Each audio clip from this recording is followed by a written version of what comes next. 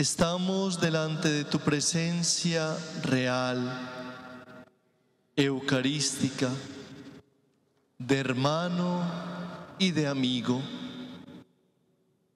Nos has invitado esta noche a una cita de amor, a un encuentro contigo.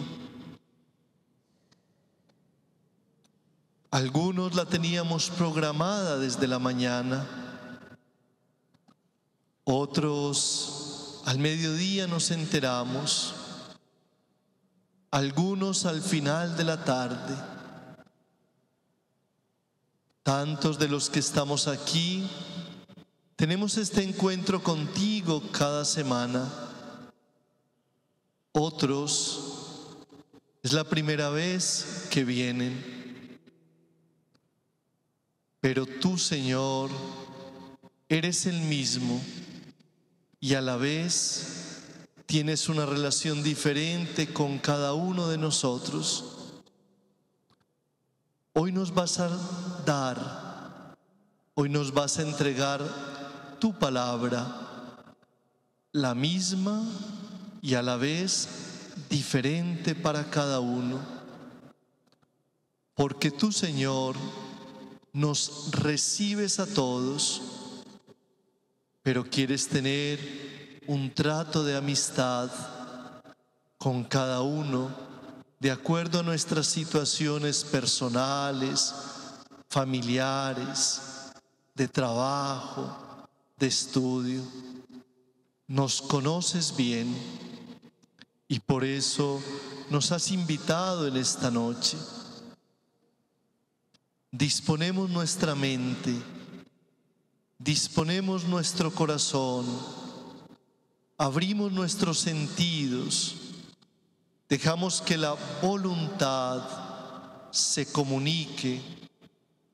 ¿Para qué, Señor? para escucharte. Allá en lo hondo del corazón, allá en la intimidad de nuestra conciencia, queremos escuchar tu palabra con obediencia, escuchar tu palabra con respeto, recibirla con gratitud. Señor, tal vez la dificultad que tenemos para recibir esta palabra es que vivimos en una sociedad inmediatista que quiere todo ya, que no está dispuesta a esperar Cuánta falta nos hace la virtud de la espera, de la esperanza.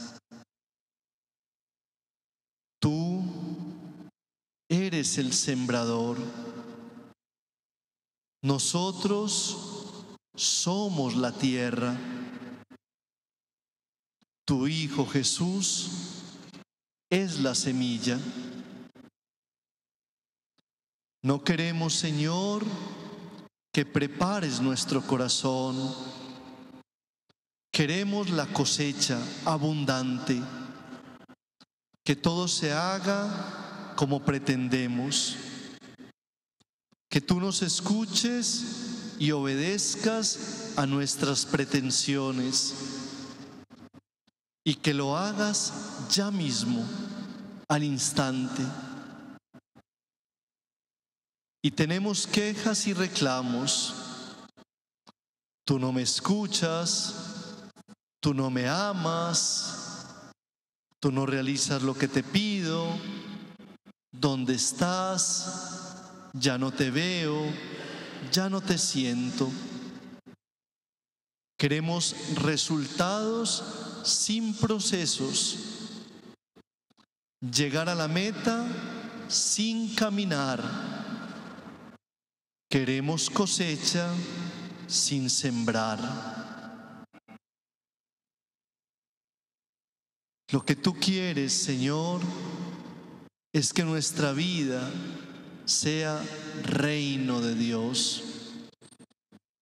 Y por eso Jesús llegas a limpiar del corazón aquello que nos hace daño. Y por eso quieres arrancar de nosotros lo que no permite que la semilla pueda producir fruto. Y por eso, Señor, escarbas la tierra del corazón, revuelcas la tierra del corazón, porque quieres sacar aquello que puede matar la semilla que la está matando. Porque quieres enseñarnos la esperanza. Porque quieres ayudarnos a entender que el proceso espiritual se realiza poco a poco para que la vida sea distinta, sea mejor. Claro que nos escuchas, Señor. Claro que sabes de nuestras súplicas, de nuestras oraciones, de nuestros gritos del alma. Pero también, Señor, sabes que necesitamos obediencia, docilidad, un corazón humilde. Solo cuando nos disponemos, Señor, solo cuando tú entras al corazón humano, solo cuando tú preparas esta vasija que somos, esta tierra que somos, entonces, como dice tu evangelio, misteriosamente la palabra, tu semilla, empieza a producir fruto. Señor, en esta noche queremos disponernos no queremos tener reclamos. No queremos quejarnos. No queremos echarte la culpa. No, Señor. Solo queremos disponernos para que tú realices la obra, la del reino de tu Padre, la del reino de Dios. Nuestro corazón, Señor. Toca nuestra vida. Quita de ella lo que nos hace daño. Quita de ella, Señor, lo que nos enferma espiritualmente. Quita de nosotros lo que destruye. Haznos pacientes, Señor, para esperar sabiendo que tú estás realizando tu obra. Lo creemos porque es así. Es la certeza que nos mueve en esta noche. De forma misteriosa, sin que nos demos cuenta, esa semilla está ya germinando en el corazón Eres tú, Señor Jesús, en nuestro corazón, cambiando nuestra vida, purificando nuestros pensamientos, limpiando nuestras emociones, haciendo que nuestra voluntad y nuestros sentidos se dispongan para el amor. Y continúas dándonos tu palabra esta noche, Señor, sembrando tu palabra en nosotros. ¿Con qué podemos comparar el reino de Dios? ¿Qué parábola usaremos? ¿Con un grano de mostaza? Que al sembrarlo en la tierra es la semilla más pequeña, pero después de sembrada, crece, se hace más alta que las demás hortalizas y echa ramas tan grandes que los pájaros del cielo pueden anidar en su sombra.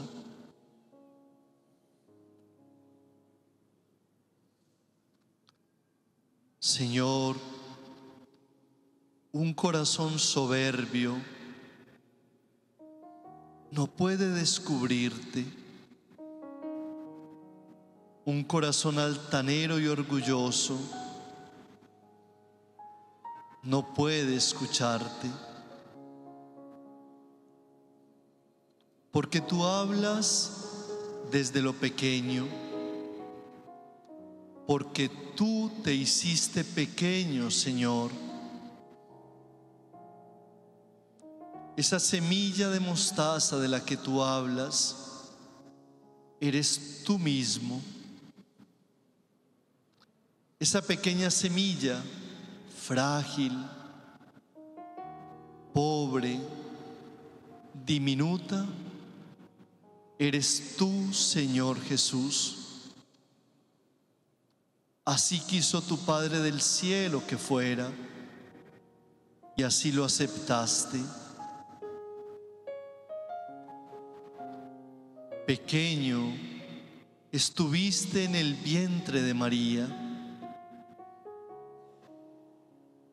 Pequeño en los brazos de tu madre y de José.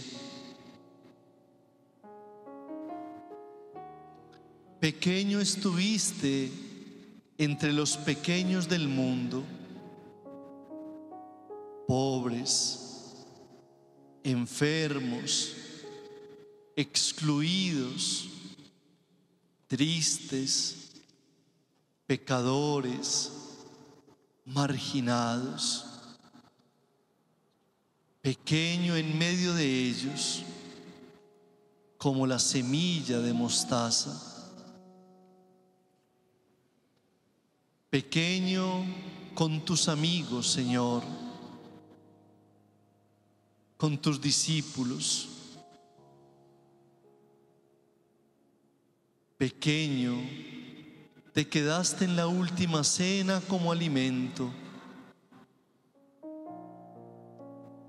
Pequeño, moriste en una cruz y fuiste llevado a un sepulcro. El grano de mostaza que es sembrado en la tierra, el grano de trigo que muere para dar fruto.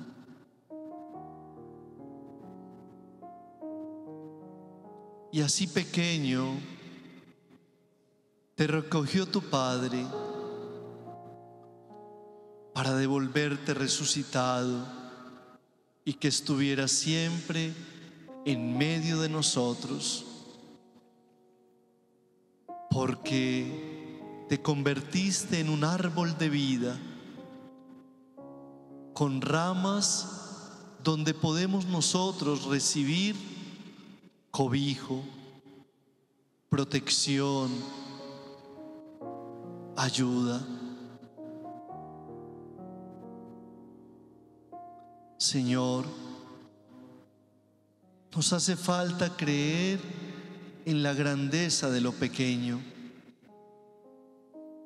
porque el mundo sigue insistiéndonos que tenemos que ser soberbios, grandes, pasar por encima de los demás, lograr nuestros propósitos, no importa el precio que tengamos que pagar.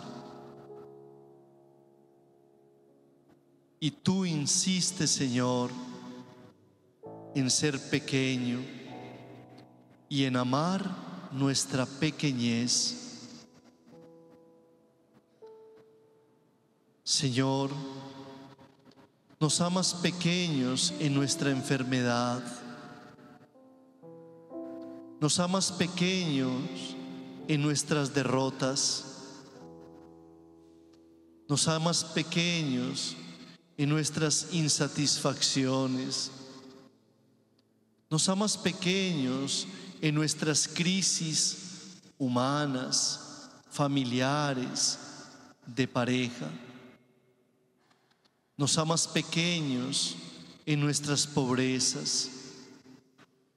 Nos amas pequeños porque de esa manera puedes salvarnos, puedes tomarnos en tus manos, puedes abrazarnos, puedes cubrirnos con las ramas y con las hojas del árbol de vida que eres tú. Nos amas pequeños, Señor, para que podamos recibirte en nuestro corazón. Pero también, Señor, porque quieres ayudarnos a entender la grandeza de las pequeñas obras, de ese saludo con amor, de ese abrazo con respeto, de esa mirada sin malicia, de ese consejo gratuito, de esa compañía sin esperar nada a cambio, de esa ayuda que podemos entregar en tu nombre, de esa ayuda que podemos recibir con humildad, de ese sentirnos cercanos, sabiendo que no podemos solucionar nada, que podemos acompañarnos en todo. Así pequeño, Señor, nos amas. Así pequeño, Señor, nos bendices para que como el grano de mostaza podamos dar fruto, podamos crecer espiritualmente y podamos ser fuertes de manera que las situaciones adversas no nos derriben. Y si nos derriban, tú te haces pequeño para levantarnos. Señor, por eso, porque te hiciste pequeño,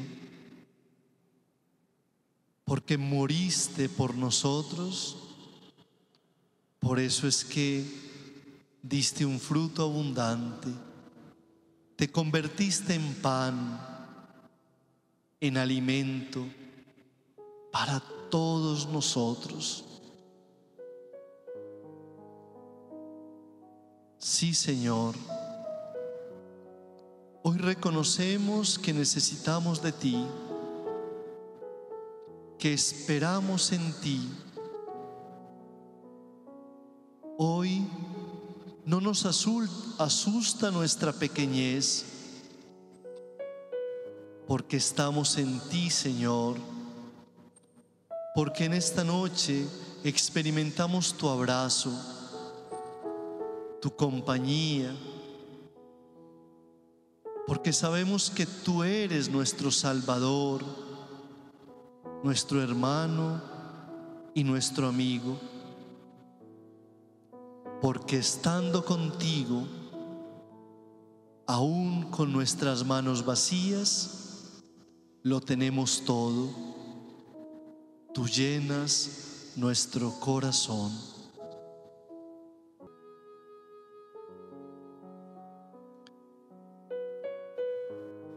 Tu reino, Señor, el reino de tu Padre, es la más grande bendición para el corazón humano.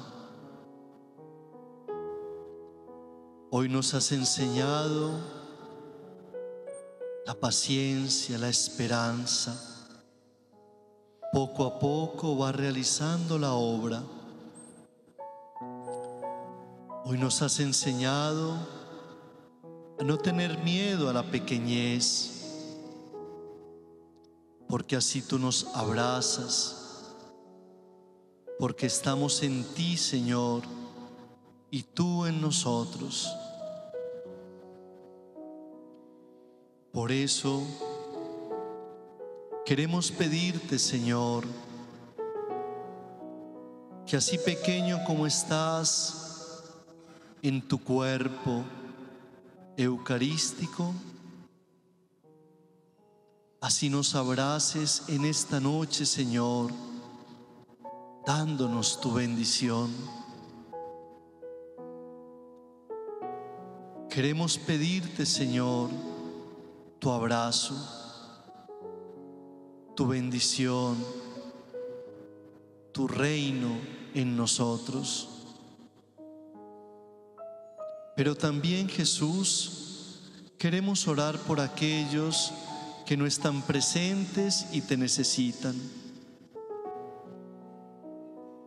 Por los enfermos del cuerpo y también enfermos de la mente y del alma, Señor enfermedades físicas, psíquicas y espirituales, dolores, angustias, desesperanzas. Los enfermos, Señor, son abrazados por ti en esta noche, ellos y sus familias. Queremos pedirte, Señor, que bendigas a quienes están desempleados, están buscando opciones de trabajo para el bienestar de sus seres queridos. Quieren cumplir con aquello que nos mandaste, trabajar honestamente para el bien del mundo. Señor, queremos orar, suplicar tu bendición por las familias que están en crisis, porque han descuidado el amor, porque se les ha olvidado el diálogo, porque ya no tienen paciencia o porque no saben que ser diferentes no es una amenaza, es una nueva oportunidad para ver el mundo de manera distinta. Oramos por las familias, esposos, hijos, papás. Señor, te presentamos a aquellos que están en cárceles físicas o espirituales Tú puedes, tú puedes liberarlos. Primero sanar sus corazones para que tengan una nueva oportunidad. Oramos por aquellos que sufren violencia física o psicológica. Señor, cuánto dolor Señor, cuántas heridas y solo tú puedes sanarlas, Jesús. Y aunque queden cicatrices, que estos amigos y hermanos sean restaurados y tengan una nueva posibilidad. Señor, oramos por aquellos que están solos, para que alguien los acompañe en tu nombre, para que alguien los ayude en tu nombre Jesús. Oramos por quienes se han alejado de la comunidad, pero tú no te has alejado de ellos, que puedan volver, que no se sientan juzgados ni señalados, que se sientan perdonados y amado Señor. Oramos Jesús por Colombia. Oramos por nuestro país. Ayúdanos a trabajar por la justicia y la paz. Toca el corazón de nuestros dirigentes, Señor. No somos enemigos los unos de los otros. Podemos vivir como hermanos si te aceptamos en nuestra vida. Oramos por todos aquellos que en este momento nos acompañan también virtualmente en el lugar donde estén, que sientan la fuerza de esta oración. Y como miembros de la iglesia, Señor, como hijos de la iglesia, danos tu bendición, tu abrazo, tu compañía en esta noche. Yo los invito para que nos dispongamos y recibiendo la bendición de Jesús, sentimos verdaderamente que Él está con nosotros y nosotros con Él. Sentimos esta bendición para nosotros, para nuestros seres queridos, para nuestros amigos. Bendito, alabado y adorado sea Jesús en el santísimo sacramento del altar. sea para siempre bendito y alabado. Bendito, alabado y adorado sea Jesús en el santísimo sacramento del altar. Bendito, alabado y adorado sea Jesús en el santísimo sacramento del altar. Mi Jesús sacramentado, mi dulce amor y mi consuelo. Nos diste, Señor, el pan del cielo. Oh Jesús, en este sacramento admirable nos dejaste el memorial de tu pasión. Te pedimos nos concedas venerar de tal modo los sagrados misterios de tu cuerpo y de tu sangre, que experimentemos constantemente en nosotros el fruto de tu redención, tú que vives y reinas por los siglos de los siglos.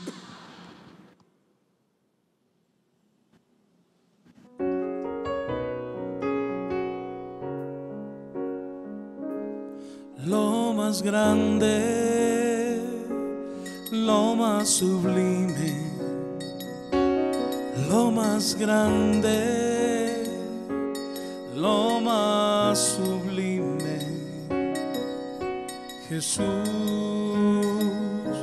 Eucaristía, Jesús, Eucaristía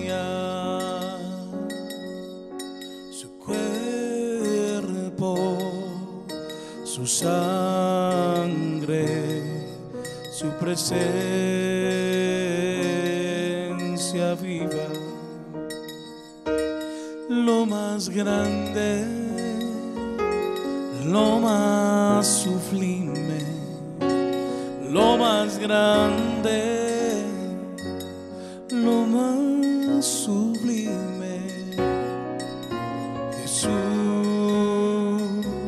Eucaristía,